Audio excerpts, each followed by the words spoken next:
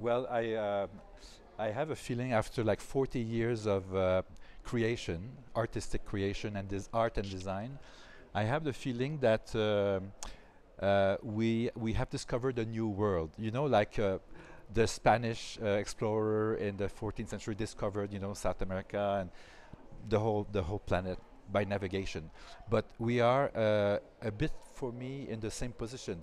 Uh, we don't have boats, but we have the technology now to immerse ourselves in a new kind of space.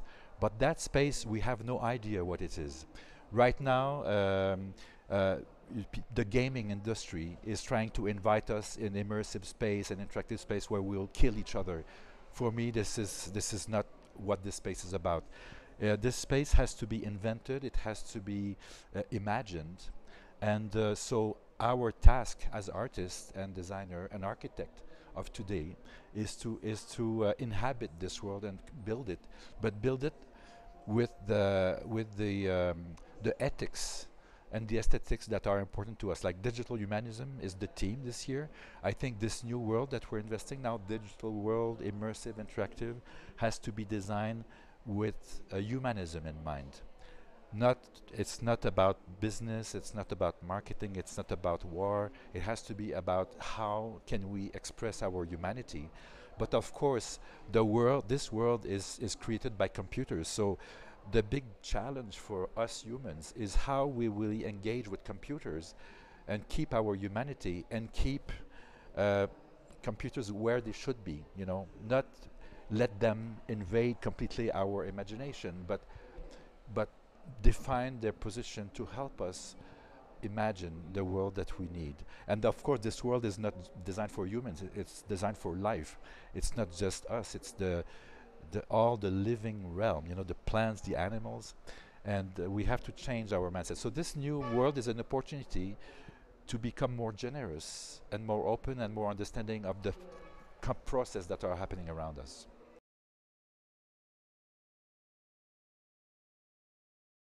Yeah. Because the technology is very powerful. It does not come from nowhere. It's invented by humans. We invent technology, but we invent technology for the, uh, sometimes the wrong reasons. Usually, you invent technology for war. You know, war and military, and uh, and uh, this is the, the incentive for having technology.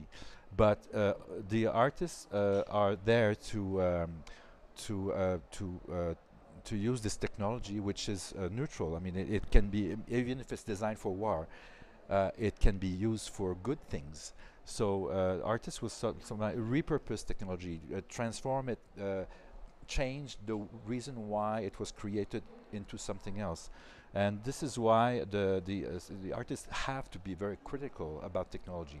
But I see in my own lifetime, you know, technology was really fascinating at the beginning. You know, the interactive laser disc. Oh wow, the computer laser disc can hold uh, thousands of images and video, and you can shuffle them. So it was breaking the linearity of cinema, which was fascinating. So we did not, we were not so critical about it. We were just like eager to try and find out what we can do with it. And I could use it to do portraits, interactive portraits.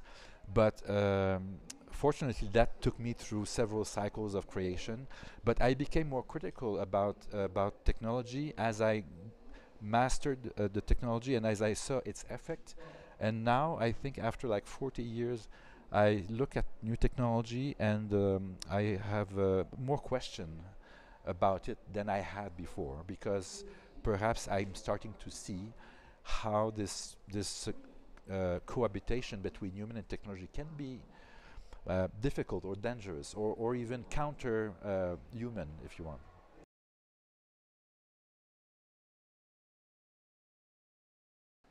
Yeah. Well, the portrait one is a very important work for me because you never know when you have an idea, you make it, uh, bring it to life, and it's not exactly what you imagine, but it's something else. But when you show it to people, people, pe then you can you can really uh, see what you have done. And in the case of Portrait One, it created a lot of interest. That was a big uh, incentive for me to, uh, it facilitated, uh, you know, my career a lot. But um, Portrait One, I, I see the, the measure of its success, it, it's when it copied, it's copied, you know. like it was, I guess, one of the first, uh, if not the first, uh, visual, you know, chatbot. Uh, you had other programs that were uh, where human uh, converse with the computer, but they were text. You know, they were uh, they were not visual. So that was an example, but it it it, it triggered uh, interest, and then you could see it happen. And I'm really happy to see that how people inspi in are inspired by art, they and they copy it and they repurpose it and they do other things with it. So now, the the work has inspired many things that uh, that I think is is a measure of the good idea that this was very naively, very intuitively. But this is you always hope that you will reproduce that. So I saw my first panorama when I was 14 years old at Expo 67 and it was uh, it was a universal exhibition and it was a, a trip through Canada but uh, you know you could feel that uh, uh although it was just a, a, cylindrical panorama you could lose your balance so you had in the room you could uh, hold on handrails not to fall and when I was 14 when I saw that I said oh this is my in my lifetime you will see many many immersive you know panorama and everything. But it didn't happen uh, because I did not know then. It was they were so complicated and expensive to produce. So in my lifetime, I, I was always looking for a way to to create these immersive panorama, and it it happened uh, only uh, 30, 20 years later, you know, 30 years later, because you needed the processing power of the computer, you needed the way to record the media on a very flexible and fast um, format, you needed uh, the ideas to produce, uh, you needed the real time that computer could afford. You needed also the society to evolve, to want interaction and immersion. So all this happened at the end of the 90s. And now you have VR, you have domes, you have all kinds of things. So when you do this research experimentation, you don't know if it will give a result or not. But if you have the feeling that you, the intuition that maybe there's something there, you have the responsibility to try it. Because maybe then you will spark something uh, in somebody's mind and they will become you know very they will take the idea and bring it much further. It will be yeah it will be 30 years next year. So I, am dreaming to remake it with the same actress who is now 64 she was 34 at the time she's 64 Marie uh, and uh, and see how she has evolved as a character. It's not about her; it's about the character. But now with AI, it's really incredible how you could uh, work on, on, on defining a person a generative personality. Maybe she can uh, now remember that she saw you before. She can make sense differently of what you tell her. So the possibilities are so open, but of course we don't have millions of dollars to do these projects. It has to be minimal, but it has to be critical at the same time of AI and all the technology.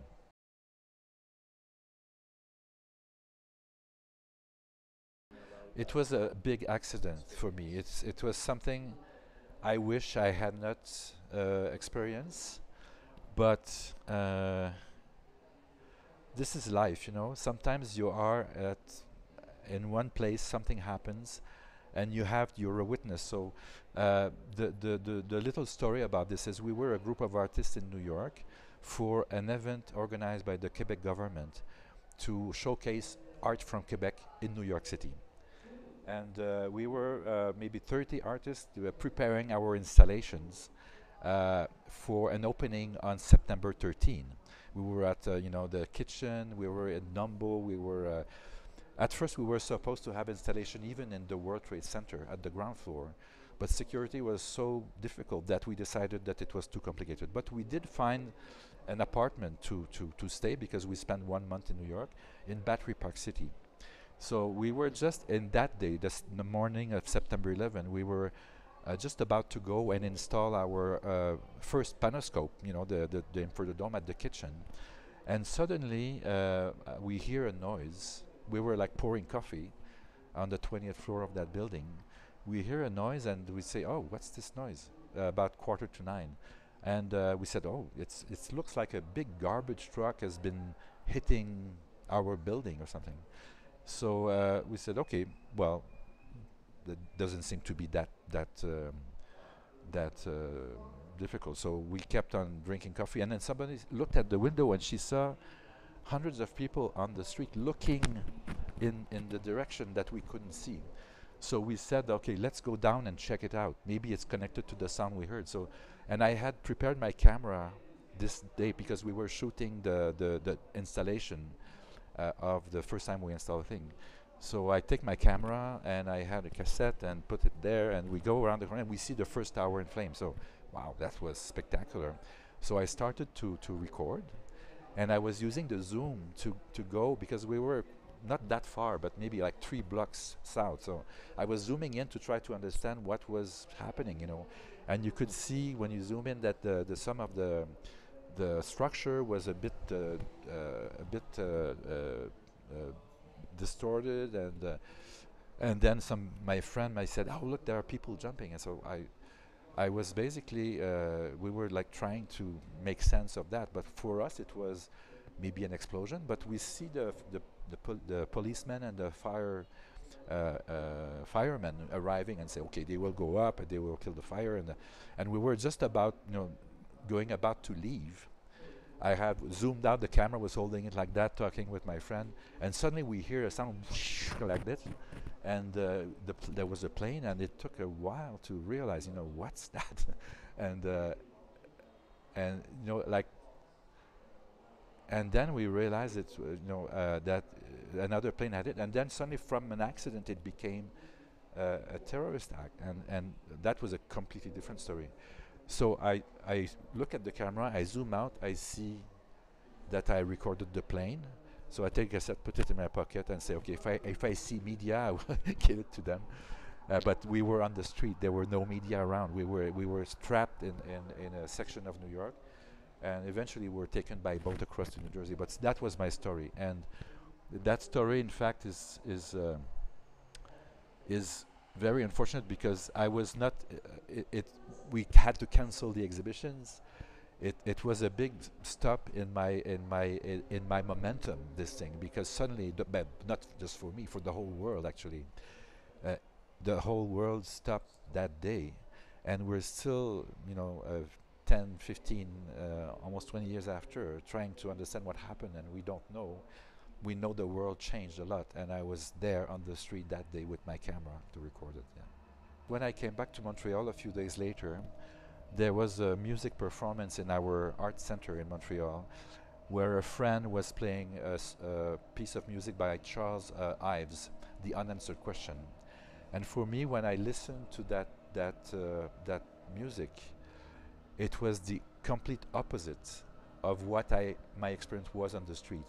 So I simply had the idea to put some of the video I had with that music together just to see what happens. And it's an installation that I showed once in our center called Untitled. And I have never shown it after that. Yeah.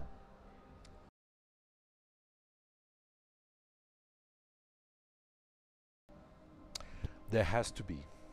Because art is about citizenship, is about, you know, uh, uh, generosity, is about understanding the world, and the world uh, that we live in needs to be, um, you know, to be um, collectively designed and in inhabited and uh, evolved. So we have a responsibility, not only as artists, as human, as citizen. So and politics is part of that. So every decision we make, what we wear in the morning, what we buy, you know, if you buy something, basically you support a company, a product, or you, so decision of what to buy or what not to buy, you know, now we we're talking a lot about the necessity to reduce our uh, carbon footprint, but you know, we're very pleased to have flown to Colombia and be here with you, but maybe there will come a point where we have to be very critical about that. Say, is do I have to go? If I, what what is the environmental cost of me going there, and and is my presence there is um, uh, is there another way to uh, to avoid this uh, environmental cost but still participate? So we need to be global. We need to interact more and more together, but we need to be uh, careful on on on the costs of the of of the environmental cost of all these actions. So this is a very interesting design opportunity. How do we travel slowly? So maybe instead of coming to Colombia for four days, like now, I should come for a year and come maybe uh, by boat or by bicycle and uh, and use the, the time I have here to go deeper in society, you know, uh, get involved in things. So that would be a way to stay connected, but differently in a way that is more sustainable. So I really like, personally, the slow food, uh, the movement of people who say, okay, uh, it's not about progress, you know, growth. It's about how to keep our values in line uh, and be more responsible in how we uh, we consume energy, uh, but without sacrificing what we need to uh, to do is work together, get to know each other, break the frontiers, break the barriers, uh, invite each other, but invite each other differently in a in a slower pace, and uh, and sort of get more out of it.